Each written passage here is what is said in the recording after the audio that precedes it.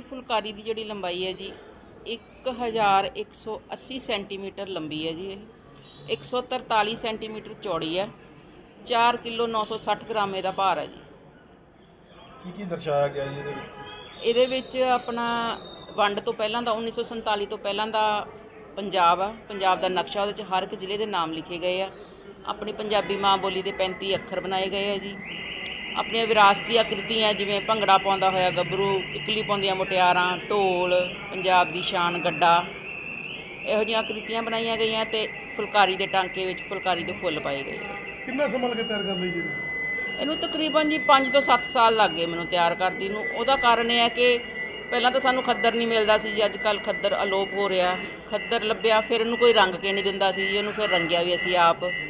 ਫਿਰ ਇਹਦੇ ਧਾਗੇ ਨਹੀਂ ਮਿਲਦੇ ਸੀ ਇਸ ਕਢਾਈ ਨੂੰ ਕਰਨ ਵਾਸਤੇ ਪੱਟ ਦਾ ਧਾਗਾ ਚਾਹੀਦਾ ਹੁੰਦਾ ਜੀ। ਉਹ ਸਾਨੂੰ ਧਾਗੇ ਨਹੀਂ ਮਿਲਦੇ ਸੀ ਫਿਰ ਅਸੀਂ ਧਾਗੇ ਲੱਭੇ ਧਾਗੇ ਲੱਭਣ ਤੋਂ ਬਾਅਦ ਫਿਰ ਅਸੀਂ ਇਸ ਤੇ ਕੰਮ ਕੀਤਾ ਜੀ। ਕਿੰਨੇ ਜਣਾਂ ਨੇ ਤਿਆਰ ਕੀਤਾ ਜੀ? ਇਹ ਮੈਂ ਕੱਲੀ ਨੇ ਤਿਆਰ ਕੀਤਾ ਜੀ।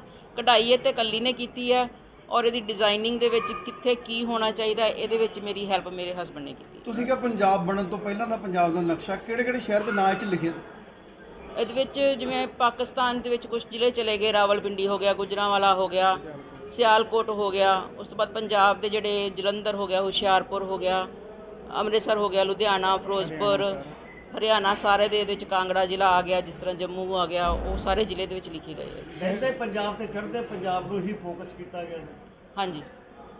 ਏਮ ਕੀ ਸੋਚਿਆ ਪੰਜਾਬ ਫੁਲਕਾਰੀ ਇਹ ਪੰਜਾਬ ਦਾ ਇੱਕ ਮਾਨਮੱਤਾ ਇਹ ਮਾਨਮੱਤੀ ਫੁਲਕਾਰੀ ਹੈ ਜਿਹਨੂੰ ਅਸੀਂ ਕਹਿੰਦੇ ਆ ਪੰਜਾਬ ਦੀ ਸ਼ਾਨ ਆ ਇਹ। ਤੇ ਲਹਿੰਦੇ ਤੇ ਚੜ੍ਹਦਾ ਪੰਜਾਬ ਦੋਨਾਂ ਦਾ ਅਸੀਂ ਇਕੱਠਾ ਇਹਦਾ ਨਕਸ਼ਾ ਬਣਾ ਕੇ ਦੇ ਵਿੱਚ ਇਹਨੂੰ ਪੰਜਾਬ ਨੂੰ ਸਮਰਪਿਤ ਕੀਤਾ ਗਿਆ ਜੀ। ਜੇ ਆਪਾਂ ਗੱਲ ਕਰੀਏ ਪਹਿਲਾਂ ਪਹਿਲਾਂ ਕੋਈ ਫੁਲਕਾਰੀ ਬਣੀ ਹੈਗੀ ਹੈ ਤੁਹਾਡੇ ਕੋਲ ਅਸੀਂ ਜਿੱਥੋਂ ਤੱਕ ਸਰਚ ਕੀਤੀ ਹੈ ਸਾਨੂੰ ਕੋਈ ਮਿਲਿਆ ਨਹੀਂ ਇਸ ਤਰ੍ਹਾਂ ਦਾ ਵੀ ਕਿਸੇ ਨੇ ਕੋਈ ਬਣਾਈ ਹੋਵੇ ਇਸ ਤਰ੍ਹਾਂ ਦੀ ਫੁਲਕਾਰੀ ਕਿਸੇ ਵੀ ਸਾਈਜ਼ 'ਚ ਬਣਾਈ ਹੋਵੇ ਕੋਈ ਨਹੀਂ ਮਿਲੀ ਸਾਨੂੰ ਜੀ। ਕੋਈ ਰਿਕਾਰਡ ਵਾਸਤੇ ਵੀ ਅਪਲਾਈ ਕੀਤਾ ਹਾਂਜੀ ਅਸੀਂ ਰਿਕਾਰਡ ਵਾਸਤੇ ਅਪਲਾਈ ਕੀਤਾ ਹੋਇਆ ਇਹਨਾਂ ਕਿਹੜੇ ਕਿਹੜੇ ਰਿਕਾਰਡ ਵਾਸਤੇ? ਅਸੀਂ ਇਹਨੂੰ ਲਿਮਕਾ ਬੁੱਕ ਆਫ ਰਿਕਾਰਡ ਵਾਸਤੇ ਅਪਲਾਈ ਕੀਤਾ ਹੋਇਆ ਇੰਡੀਆ ਬੁੱਕ ਆਫ ਰਿਕਾਰਡ ਵਾਸਤੇ ਕੀਤਾ ਹੋਇਆ ਜੀ ਇੰਟਰਨੈਸ਼ਨਲ ਵਰਲਡ ਰਿਕਾਰਡਸ ਵਾਸਤੇ ਕੀਤਾ ਹੋਇਆ ਜੀ। ਤੁਹਾਡੇ ਘਰ 'ਚ ਪਹਿਲੇ ਰਿਕਾਰਡ ਬਣੇ ਹੋਏ? ਹਾਂਜੀ ਸਾਡੇ ਘਰ ਦੇ ਚਾਰ ਮੈਂਬਰ ਆ ਜੀ ਤਿੰਨ ਜਣਿਆਂ ਦੇ ਬਣੇ ਹੋਏ ਸੀਗੇ ਇੱਕ ਰਿਕਾਰਡ ਰਹਿੰਦਾ ਸੀਗਾ ਉਹ ਅੱਜ ਬਣ ਗਿਆ। ਪੂਰੀ ਫੈਮਿਲੀ ਪੂਰੀ ਪੂਰੀ ਦੀ ਪੂਰੀ ਫੈਮਿਲੀ ਰਿਕਾਰਡ ਹੋਲਡਰ ਫੁਲਕਾਰੀ ਨੂੰ ਹੀ ਇੱਕ ਟੌਪਿਕ ਕਿਉਂ ਸਮਝਿਆ? ਆਪਣੇ ਪੰਜਾਬ ਦੀ ਸ਼ਾਨ ਹੈ ਜੀ ਪੰਜਾਬ ਵਾਸਤੇ ਕੁਝ ਕਰਨਾ ਚਾਹੁੰਦੇ ਸੀ। ਇੱਕ ਮੈਂ ਇਹ ਸਿਲਾਈ ਕਢਾਈ ਦੇ ਵਿੱਚ ਮਾਸਟਰ ਡਿਗਰੀ ਕੀਤੀ ਹੋਈ ਹੈ ਜੀ। ਤੇ ਮੈਂ ਸੋਚਿਆ ਸੀ ਇਹਨਾਂ ਨੇ ਫਿਰ ਮੈਨੂੰ ਸੁਜੈਸਟ ਕੀਤਾ ਮੇਰੇ ਹਸਬੰਡ ਨੇ ਕਿ ਤੁਸੀਂ ਆਪਣੇ ਹੀ ਕਲਾ ਦੇ ਅਕੋਰਡਿੰਗ ਕੋਈ ਚੀਜ਼ ਬਣਾਓ। ਕਿੰਨੇ ਰੰਗ ਯੂਜ਼ ਕੀਤੇ ਹੋਏ ਰੰਗ ਤਾਂ ਇਹਦੇ ਚ ਮੇਰੇ ਜੀਤ ਕੌਰ ਕੋਮਲ ਨੇ। ਸਭ ਤੋਂ ਪਹਿਲਾਂ ਤਾਂ ਮੈਂ ਇਹਨਾਂ ਨੂੰ ਵਧਾਈ ਦਿੰਦਾ ਕਿ ਇਹਨਾਂ ਨੇ ਇੰਨਾ ਸ਼ਾਨਾਮੰਦਾ ਕੰਮ ਕੀਤਾ ਹੈ। ਇਹ ਪੂਰੀ ਫੈਮਿਲੀ ਇਹਨਾਂ ਦੇ ਦੋ ਬੱਚੇ ਨੇ ਤੇ ਦੋਨੋਂ ਜਣੇ ਆਪ ਇਹ ਚਾਰੋਂ ਦੇ ਚਾਰੋਂ ਰਿਕਾਰਡ ਹੋਲਡਰ ਨੇ। ਅੱਜ ਜਿਹੜਾ ਰਿਕਾਰਡ ਇਹਨਾਂ ਨੇ ਬਣਾਇਆ ਉਹ ਹੈ ਕਿ ਸਭ ਤੋਂ ਵੱਡੀ ਫੁਲਕਾਰੀ ਜਿਹੜੀ ਹੈ, ਇਹ ਫੁਲਕਾਰੀ ਦਾ ਖੱਦਰ ਇਹਨਾਂ ਨੇ ਆਪ ਰੰਗਾਇਆ ਤੇ ਉਸ ਤੋਂ ਬਾਅਦ ਆਪ ਇਹਦੇ ਤੇ ਡਿਜ਼ਾਈਨ ਕੀਤਾ ਕਿ ਕਿੱਥੇ ਕੀ ਹੋਣਾ। ਫਿਰ ਪੰਜਾਬ ਨਾਲ ਸੰਬੰਧਿਤ, ਗੁਰਮੁਖੀ ਨਾਲ ਸੰਬੰਧਿਤ ਤੇ ਪੰਜਾਬੀਅਤ ਨਾਲ ਸੰਬੰਧਿਤ ਜਿੰਨੇ ਪੁਰਾਤਨ ਚਿੰਨ੍ਹ ਹੋ ਸਕਦੇ ਆ, ਉਹ ਇਹਦੇ ਉੱਤੇ ਉਕਰੇ ਗਏ ਨੇ, ਇਹਨਾਂ ਨੇ ਕਢਾਈ ਕੀਤੀ ਹੈ।